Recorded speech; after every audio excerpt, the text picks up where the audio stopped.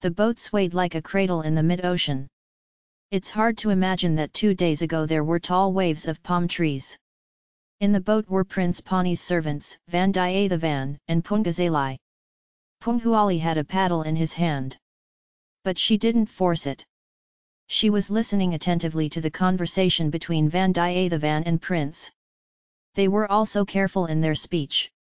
They didn't seem eager for the boat to go faster. They were talking about what to do after the boat reached Kadakar. Vandiyadevan was arguing that the prince should not go to Tanjavur and should come to Palayare. He gave many reasons for it. Your sister wants to see them as a matter of urgency. I have promised to bring them hand in hand. Let it be fulfilled, he pleaded. Are you asking me to disobey my father's orders to fulfill your promise? asked the prince angrily. It is not their father's command, is it not the order of the reaper? Vandiyathevan said. He also said one more thing. Would it be better to see the emperor free, or to see him as a prisoner of the Palyavatarayas? I say, listen. The news must spread that they have been imprisoned by the Palyavatarayas. The Cholas will all rise up and rise up. Their beautiful motherland will become a terrible battleground. Consider whether that is good. God must have sent that whirlwind so that such harm should not befall the Chola country. Do you want to create riots in the Chola country against God's will? Vandiyathevan asked. This somewhat changed the prince's mind in the arguments he had been making all this time. If he came to know that he had been imprisoned by his enemies, there was a possibility of riots in Chola Nadu. He somehow knew how great was the admiration of the people for him. So the prince became deep in thought. After a while, he said, even if I decide to fulfill your wish, how is that possible? Will not the men of the Pula Pulavetare be waiting for me at Kadakare? He asked. There is this running girl to help with that. No matter how many people are waiting on the bank, she will take us into the jungle without being seen by them. Punghuali. Did you hear what I said? Can you do that? Vandiyathevan asked. Punguzali was then in the seventh heaven. Saving the prince from the sea and bringing him in the boat gave her boundless joy. When he joined Kadakar, the thought of breaking up with him kept coming and tormenting him. And what could she gain more than if she could help him in any way? If you take the boat a little west of Kadakare, there is a channel with thick forest on both sides. You can leave the boat through it. There are mangroves on both sides. No one can come easily. Punguzali said. Can't you leave us there and go to Kadakar to find out? I can, there's plenty of room to park the boat without anyone seeing it. Prince! Did you hear me? Vandiyathevan said. I heard, father. You tell me to enter my motherland like a thief. You tell me to hide like a thief. Said. There was silence on the boat for a while. Then the prince said, Samudra Kumari. Why did you stop the boat? He asked. Punguzali looked at Vandiyathevan and started to hurt her paddle. Pity. How long will this girl paddle alone? I'll put off a little. Give me here, mother, the paddle. Vandiyathevan said. Knowing his intention, the prince smiled. My friend. All your schemes are in vain. I am not going to go to Padayere. I am not going to see Tanjavur. It seems that God will take me to Kailashat and take me away. Said. Vandiyatheva and Pungazali were panicked and stared at the prince. They saw that he had started shaking. Vandiyathevan approached him and asked, Sir! What is this? Why is their body trembling? He asked. This is cold fever, father. I told you that this fever is very common in Sri Lanka, don't you remember? People who come from this suram hardly survive. Said the prince. Even when the ship's sails collapsed in the middle of the sea, Vandiyathevan was not so disturbed. The prince's words were so disturbing to him now. The oar slipped from the hand of Pungakwali by itself. Vitality in the body has completely faded. The light of life appeared only in the eyes.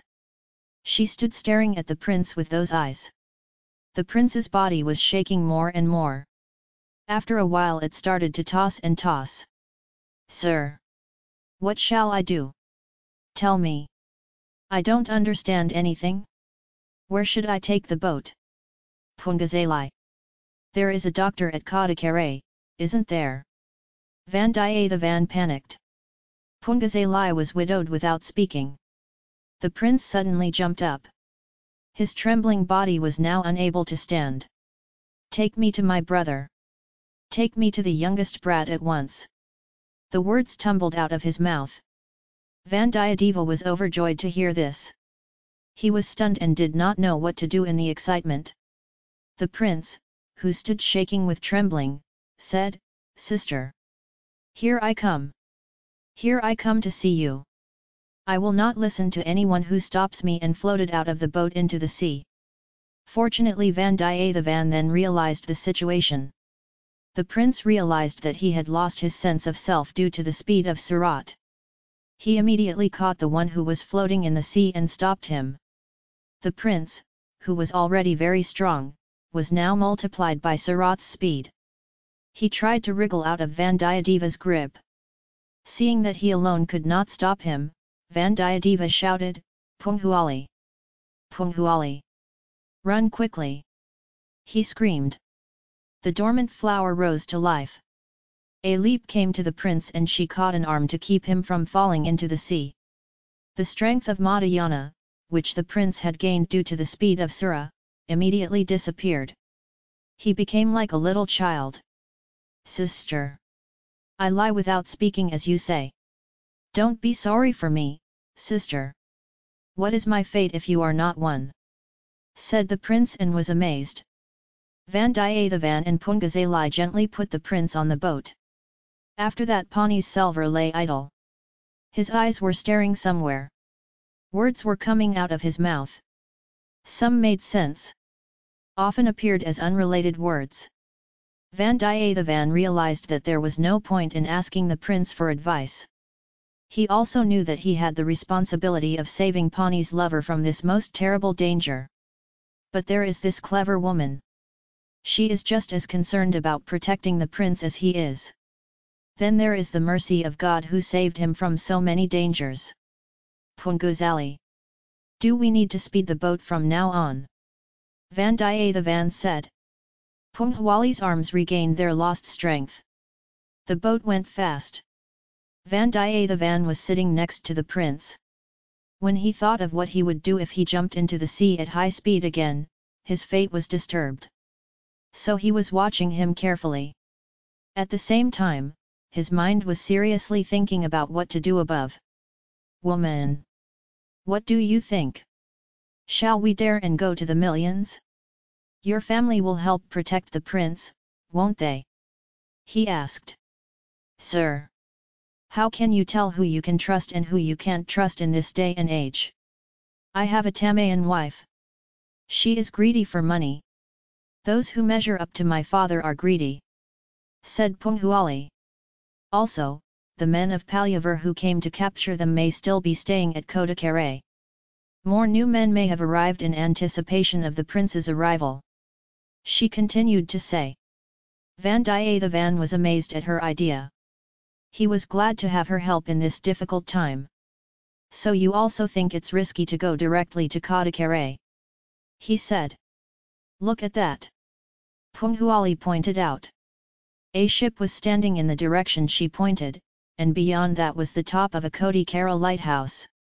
Aha! There's a big log standing. Whose ship is that? Perhaps it's Parthibendra's ship. In that case, wouldn't it be better to take the prince to Kanchi? Might as well be the ship of the Paviatariyar, sir. Do you see anything behind the ship? The top of the millionaire lighthouse is visible. Does it look different?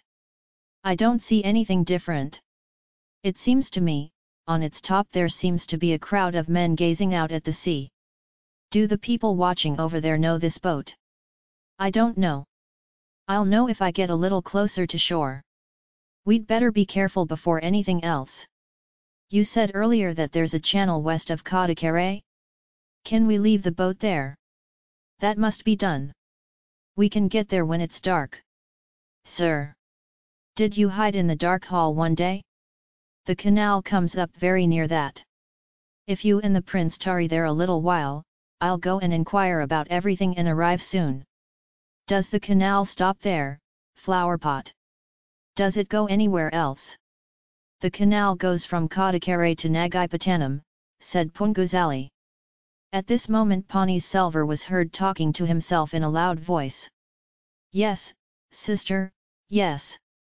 Did you say that the Buddhist Bhikkhus of Nagaipadinat said? And so it happened.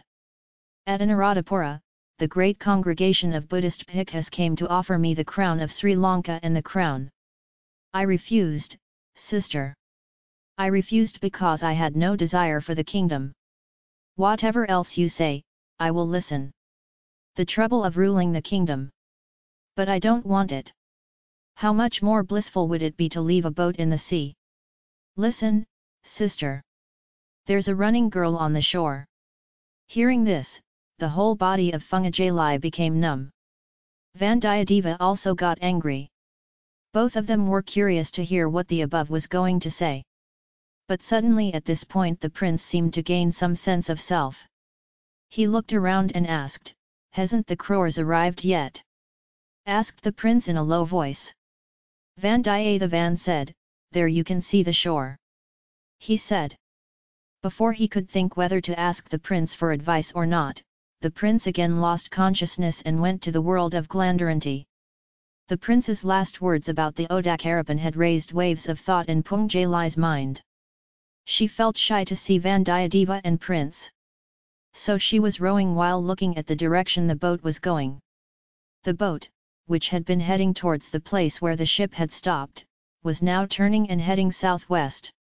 At dark it entered the canal which had sunk into the earth from the sea. As Punguzali said, there were high ridges on either side of the banks. Trees grew thick and tall on those hilly banks.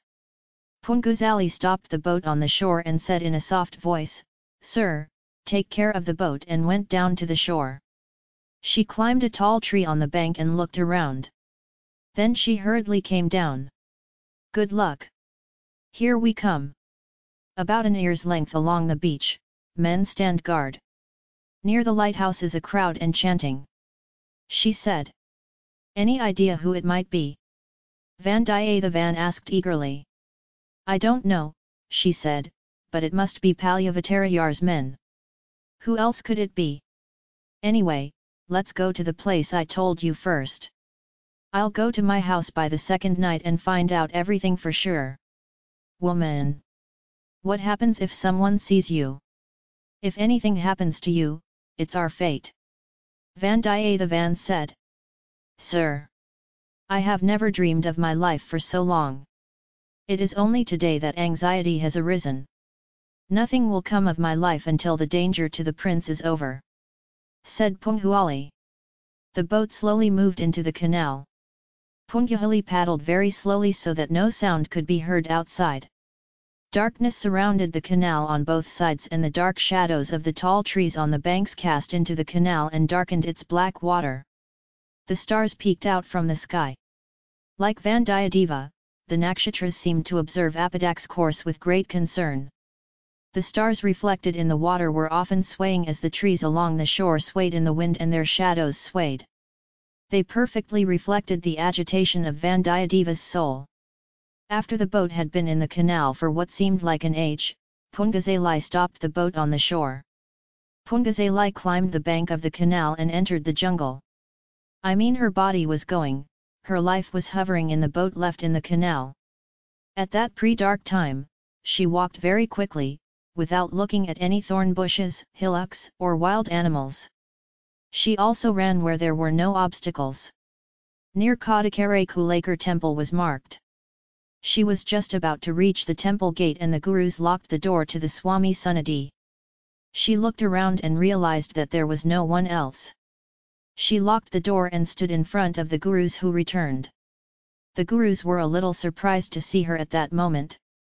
Even though he knew her nature well, he was a little startled and stunned. He said, You, Pungazalai. I saw that it was someone else. The whole crores of people are in the same place, where will we see you mother for a while? I thought even this evening that there is no information about you even in such a long time. I had gone to a foreign place. Swami. I came to inquire if something was wrong. Who are those people standing on the beach? Pungazalai asked. Don't you know anything? Aren't you going home? I went to the house. I came back to find a crowd there. You know I don't like seeing new people? Who's there? The great prince has come. His young queen has come. Their retinues have come. And yet Parthipendra Palava of Kanchipuram. He has come too. He has not just come, he has come with terrible news.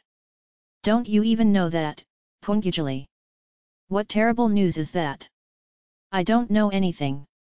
Prince Pani's wealth also arrived in that sinner's ship. On the way, a whirlwind struck. The prince jumped into the sea to save someone. Then he was not caught. Millions of people are wandering around to see if maybe he will come to this beach and escape. Why is his young queen also wandering? Even a little earlier, that mother had come here. Pungajali. People are talking about the Ila Irani of Palvur. It's all wrong. Do you know how that mother is fretting about the fate of our prince? Is that so Kurakalet? I am glad you speak of the good character of the Queen of Palvur. But why is that Queen here? She has come to pray for the prince that somehow the prince will be caught alive. Are all of them stone-chested like you? You are not the least bit disturbed by the terrible news about the prince. What's the use of worrying, Swami? You have said so many times that everything will happen according to fate. Let it go. I don't want to go to my house when so many great people have come. Give me the prasadam in my hand and leave. I will eat here and stay in the temple. You're a freak. If big people come, everyone wants to go and see them and get used to them. You don't like strangers. Especially big people are the only thing you fear. Big people will bite you and swallow you? Why should you be alone in this forest?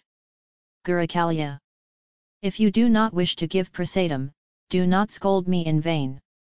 Shiva Shiva! Why am I scolding you? I saw that this prasad is not enough for your hunger. Take it generously. The priest gave the Swami prasadam tied in a cloth. After buying the bundle and opening the bottle, he said, This is not enough for my hunger. You give so little to such a great Swami. Is this fair, Swami? Let it go, what is in that kettle? Drinking water. No, the milk anointed by Swami. I am going to take it for the baby. I am your child for today. Give that too and go away. You have merit. Good girl mother, you. Let her go, at least keep Kendi safe. Saying this, the gurus also gave Kendi to Pungazalai. At that time, the voice of an owl was heard from somewhere in the distance. Pungajali was a little taken aback and asked, Sir! What was that sound? She asked. Don't you know, mother? The Khotan is crying. The Khotanuka is starving in this million-acre forest. Said the gurus. Heard that voice again. Yes, it sounds like a Gotan's voice. Said Punghuali. Not a single bit will do you any harm. Lie down with the temple door closed, mother. After saying that, he built the path of the Gurus. When the Gurus disappeared, Pungajali also left. With the prasadam in her lap, she left with the kendi in her hand. She headed towards the direction where she heard Gotan's voice. After a short distance, a narrow channel intersected. On both sides of it, there was a thicket of thalambia bushes. Pungazalai walked holding the bank of the canal. The thorns of the dalamha plants are sometimes prickly. She didn't care. The lotus blossoms burst into bloom and spread their fragrance. The smell would have intoxicated others. But Pungazalai didn't even remember that. She walked slowly along the shore so as not to hear the footsteps. Her ears were listening intently. Don't you hear many different sounds in the forest at night? None of that caught her attention. Then, she looked forward to what the sound was. Here it is. I heard the sound of two people talking in soft voices. One is a male voice and the other is a female voice. Pungazali stood well hidden. She listened carefully to what they were talking about. Sorcerer. Everyone believes, like you, that the prince fell into the sea and died. Even the hunter melts away. But I don't. Said the female voice.